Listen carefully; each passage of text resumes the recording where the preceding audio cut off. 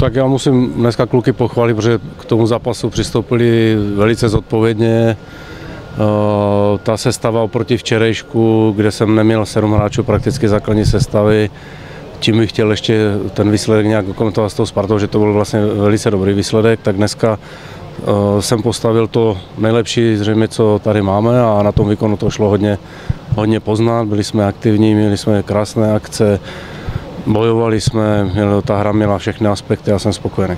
Já myslím, že dneska zahrálo dobře spousta kluků, takže jednotlivce bych z dnešního zápasu nějak nevydělil a jsem rád, že jsme ten zápas vládli, protože ani Sparta, ani uh, Hradec uh, Koreu neporazili za tři body.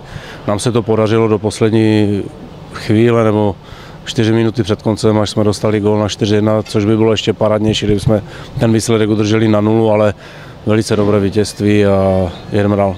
Kaca zachytal velice dobře, veškeré ty sporné situace takové, kde to opravdu smrdělo golem, kde jsme třeba některé situace podcenili, tak, tak nás podržel a já jsem jenom rád, že oběma golmanům to takhle šlape. Je to dáno i tím, že na tom začínáme více pracovat než, než loni. Obránci mají chuť tady tu to činnost zlepšit, je to hodně i o komunikaci s golmany a ti tady toto taky jenom vítají takže se tomu věnujeme i v trénincích a já věřím, že tady toto ještě se dá vyladit. Já si myslím, že bude asi plno, protože tady to opravdu to derby funguje ze vším všudy. Já bych to nějak nepřeceňoval, je to pořád příprava, i když ten naboj to bude mít. A jdeme samozřejmě do každého zápasu s tím, že se chceme vrátit a vrátili jsme se dneska znovu na tu vítěznou vlnu. V tom bychom chtěli pokračovat, ta sestava bude změněná a já osobně bych to až tak nehrotil, protože pro nás je opravdu strašně důležitá sezóna. Vůči fanouškům by to bylo nefér, kdybych tady toto bral jenom na lehkou váhu.